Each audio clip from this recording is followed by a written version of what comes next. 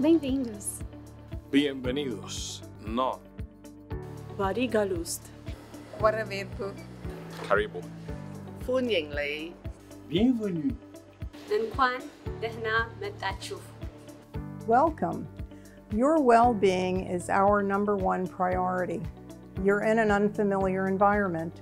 You may be greeted by many different people, hear words you don't understand, receive new medication, and miss the comforts of home. Although you probably would like to be home or somewhere else right now, we want to reassure you that we will take very good care of you. Here's some helpful information about your room, what to expect while you're with us, and what we will do to ensure your safety.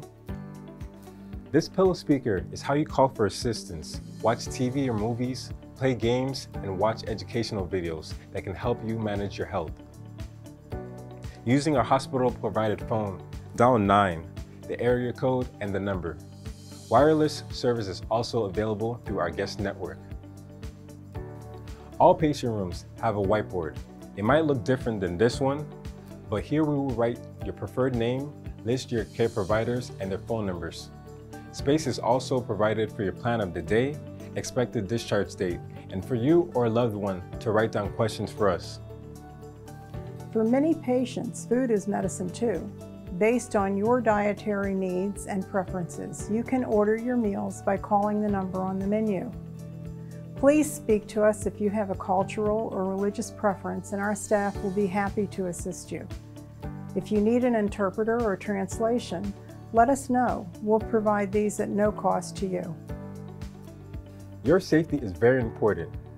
It must seem like we ask the same questions over and over, but those are safety checks and we take the time to do things properly. Tell us if you hear something that doesn't sound right. Hospitals and healthcare terms can be confusing.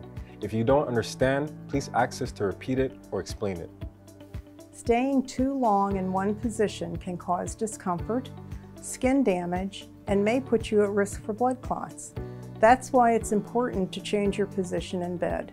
Tell us if you're uncomfortable or need assistance. All patients are at risk for falling, which could cause serious injury and take you longer to recover. To prevent falls, wear shoes or rubber-soled socks and use your usual walking aid. When you need to use the bathroom, please use the red button on your pillow speaker to call for assistance. We may also set a bed alarm, which is a loud alert, in case you forget to use your pillow speaker. Once your nurse makes sure you can get up and out of bed on your own, we will turn the bed alarm off for you.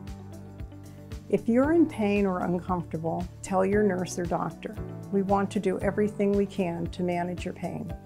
You may be given new medication. We will explain the purpose and possible side effects. If you don't understand what has been said, please ask. A clean, tidy room promotes comfort and prevents infection. Our staff will maintain your room daily. For your safety, wash your hands or use hand sanitizer after going to the bathroom and before meals. Remind visitors and staff to sanitize their hands too. To further minimize the risk of infection from your visitors, please ask them to use the public restrooms down the hall. For safety, we do limit the number of visitors in your room, and we do not routinely allow children under 12. It is important that you have periods of rest. Therefore, we usually ask visitors to leave by 10 p.m. But you always have the right to have a support person with you at all times. As a courtesy, our staff will announce themselves before entering and address you by name as a sign of respect. A nurse leader is available to assist you around the clock and will visit you during your stay. We are here for you and will check on you frequently. Ask questions, tell us about any pain you're having, and let us help you with bathroom needs or to change position.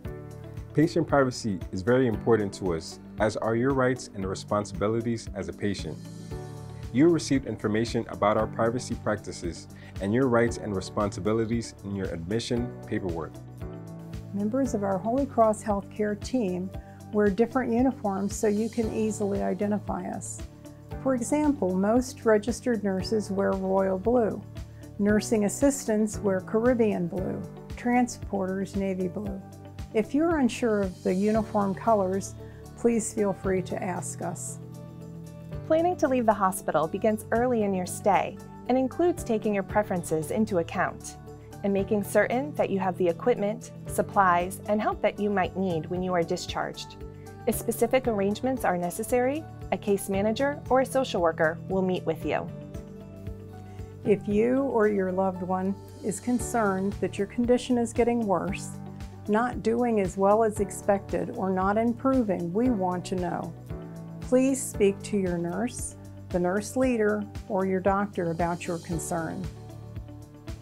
I'm Lou Damiano, president of Holy Cross Hospital. Our physicians, nurses, and support staff are dedicated to taking great care of you. Welcome to Holy Cross Hospital.